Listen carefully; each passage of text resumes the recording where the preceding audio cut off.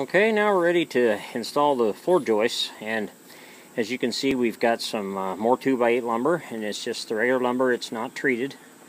You buy the lumber, you say non-treated or treated. In this in case, since it's above the sill plate, we don't need treated. It's more than two foot off the ground, so we're, we're good there.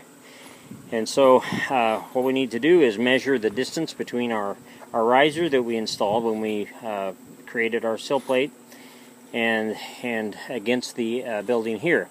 And as you can see on our uh, former structure, uh, you'll see this, the deck screws which we used. I like using deck screws on treated lumber. It just, to me, it's uh, easier. If you make a mistake too, you can pull them out and, and fix them. But it's every 16 inches. Your your floors, your joist span, just like stud walls, you you put one every 16 inches. So these are already marked. Now what we may run into trouble with is our sheathing. It may be too low, which it should be, because uh, you put it over the, the your stud wall is is um, is about right here. And so your sheathing should always come down over. Now when we, on the outside, when we put siding on, uh, and, and now that we got a concrete block, we've got to actually repair that. Because your, your, your sheathing will go down uh, but below the the, the uh, few inches or, or a few it may be an inch or half inch. I can't remember exactly what it is. I'll, when I make the video I'll, I'll, clarify exactly how much it is but your your sheathing will go over your sill plate and onto the concrete. So it overlaps and it, and it creates an air block uh, even though air still gets up in it, it creates an air block and you put your siding down over that even even more just a little bit of a lip and so that's what we'll do when we get to that point. But what we may have a trouble here is our, our uh, uh, sheathing. We're probably going to have to cut it off. So I got to take these screws out, which I like using wood screws too uh, with sheathing and subfloor. And so I went ahead and cut the old uh, wrap, which is kind of brittle and nasty and no good anyway. And so I cut it off uh, up above so we can uh, uh, get the circular saw in there to cut that sheathing off and get our, our joists in okay?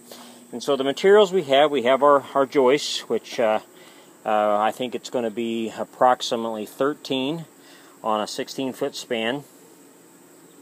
Uh, I think that's correct. No it would be 11 excuse me. I think it's because you got 10 you got 16 feet 16 inches that means 10 but you got one on each side so that should be 11 I think we have 11 joists and uh, and then we got what we call joist hangers. Now joist hangers are when you don't have the ability to get on the other side. And uh, and since we have our mark, we know where we're going to be able to put them. And uh, we, we're hanging these on the inside. But on the outside, we're just going to go on the other side of our riser and put a screw through. And uh, I could use 16D uh, nails, and I've got a pneumatic nailer. Um, and I may do that on this side, but on the, the on the joist hangers, uh, they are uh, much better with screws. I, I, like screws better because my, and I do have my old trusty uh, uh, framing hammer, and I could use regular nails the old-fashioned way, but this just makes it so much easier. And so for joist hangers, what we use is uh, you buy them. They're for two by sixes or two by eights. They they work with either one. These are like a buck a piece, and I got uh, nine of them, I believe, because I only need them on the uh, the inside. And then here's my deck screws, and using the old trusty Ryobi with the bit that comes with the screws when you buy them. So we're all set. So what I got to do is I got to measure between the the riser and uh, the building, see how much uh, room we got. I think they're going to be about 94 inches, if I measured correctly and then I got to see how much of the uh, uh, sheathing I have to cut off. And so that's the first thing we got to do. So uh, we'll uh, do that measuring and then uh, create another uh, video clip to insert in with that so you can see how we did it.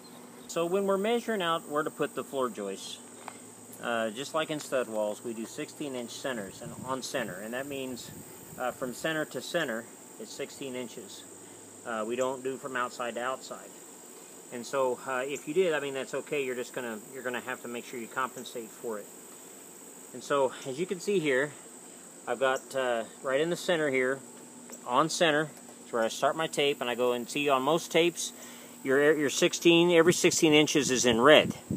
and so it gives you a very good, uh, easy grasp of, of where to put your uh, your joists and your studs whenever you're doing stud walls. It's the same way.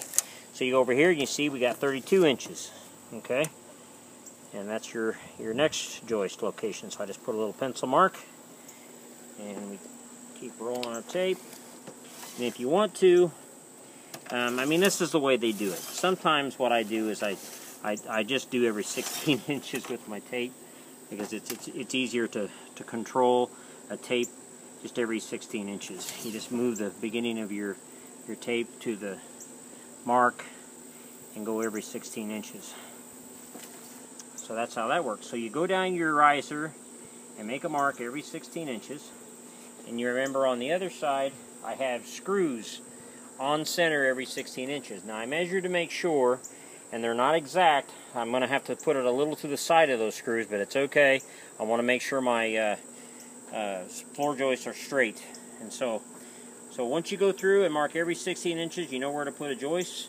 We measured our boards; they were 94 and a, and a quarter, and so we're going to cut all our joists uh, uh, two by eights uh, to length, and then we're going to fasten them. I'm going to fasten here with 16D nails with my pneumatic nailer, and I'm going to fasten the, the joist hangers with deck screws. It just works easier. So uh, now we're going to, so I'm going to go ahead and get the boards all cut. And what I like to do is I like to start in the center and work my way back. That way I'm not stepping over joists. So I'll, I'll start in the center here and work my way out and then I'll come back in and I'll start on this side and work my way out. And that way I'm not stepping over joists each time I put one in. It just makes it easier. That's my method. Other people do things their way, that's fine. That's the way I like to do it. Okay, we'll get our boards cut. We'll see you in the next clip. Okay, so we are ready to put in the uh, floor joists. We got uh, got them cut, and uh, on one side, on this side, since we can get to it, we're going to use uh, framing nails. And see, I have a pneumatic nailer here, and and as me being human, forgot to go buy more, and that's all I've got. So we're going to get started, and then um, we're going to use uh, on the joist hangers on the other side. We're going to use right here we're going to use screws, deck screws. And so uh, once we uh, get to that point, as you can see I've got one joist cut and as you can see it's level. That's important. If it's if it's not exactly level, it's got a little bit, just a hair of a downhill slope. And that's better than going the other way. If you want something to go away from your the center of your house, just a little downhill is not, not bad, but it, it, it's pretty much level as you can see. Alright, so so what I do is I, uh, and again the degree on these, I can't remember what they are. Every uh, nail uh, has a degree setting when you're pneumatic nailer, but uh, these are, uh, it's already been set. And uh, I don't have very many of course, but I can use them, what little I do have. And every time you start to use a pneumatic tool, it's always good to oil it and as you can see it says right here oil daily okay? I'm about out of my oil but I got a little bit left of this. And, and what you do is on the the insert for the air intake you just drop a couple drops down inside and that'll oil it up pretty darn good. The air moves it through the, the system but you don't want it running dry so oil it every time you use it. Alright so then you connect that to the air line Alright, so that's ready to go. Now I'm using a very small uh, air compressor and th this is a 100 psi uh, portable unit. Um, it really doesn't keep up with heavy framing. For small projects like what we're doing, it's fine. But when you got a guy running along, plunk, plunk, plunk, plunk, plunk, rap, rapidly uh, uh, putting nails in, it's not going to keep up with that because it's got to keep that 100 psi processed and so we put a couple in and then you give it time to pump back up and so I have to be patient with it. And so uh, I got to make sure I have electricity connected to it at all times so it'll keep uh, filling with air. It's, it's already filled up with 100 psi and so it'll probably kick on here after a couple of nails uh, and once it does that we will uh, uh, it'll, it'll make a lot of racket for the video, but you'll understand what it's doing. And so what I'm doing is I'm coming back here, and, and in order to activate it, you got to push it down, and then that'll activate it, and after where you can pull your trigger. Okay, so I made my mark right here for my joist. It's sticking out a little bit, so I'm going to push it in if I can. Okay, so I got one nail in. And what I'm going to do, since there's a little gap here, I'm going to grab my framing hammer and get rid of that gap because we don't want that. And I just, this will help with that immensely.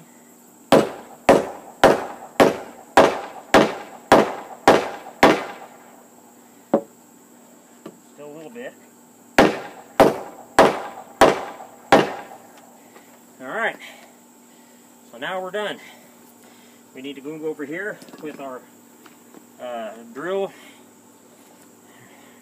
cordless drill and, and screws. I've got them over on the other side. Remember I said I don't like stepping over joists. I start in the center. Well, it always helps to make sure everything you need is with you so you don't have to climb over them. Okay, so we're going to go over here to the joist hanger.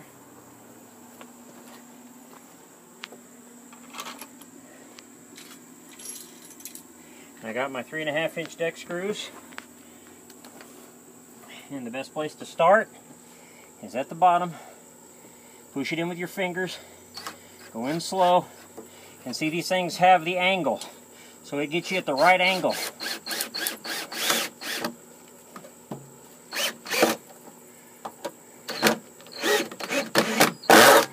I'm going to go ahead and put it down on one and go in slow with it. You strip your screws out. Yeah, that's much better. And then on the other side,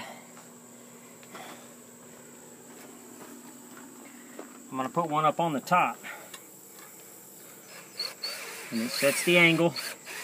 So your screw automatically moves when you get it started. See, it's so much better to go on on the on the one speed. Set it down on one instead of two. And uh, that gets that started. So we've got two in. I need to put one here, and then one on each uh, each uh, hole here on both sides. And grab three screws. I need three.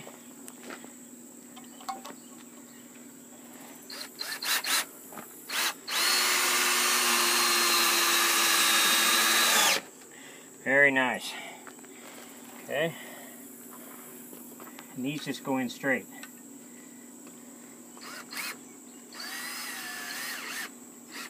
I'm going to go ahead and put my speed up here.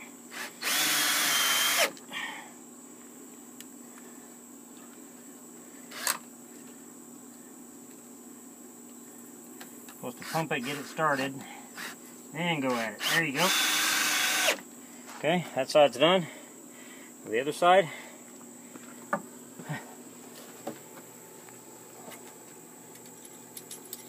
I don't know if you can tell, but I'm getting tired. I've been at this all day. Go back down to one for the angle.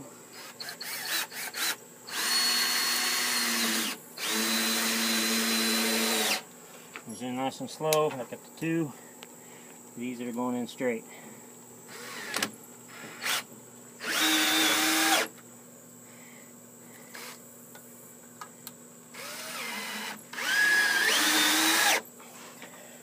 That's how easy that is.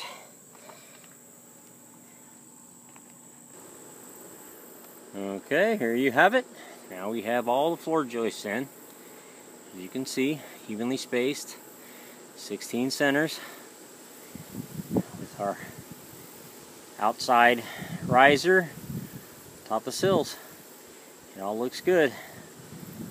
Not bad for a shade tree carpenter.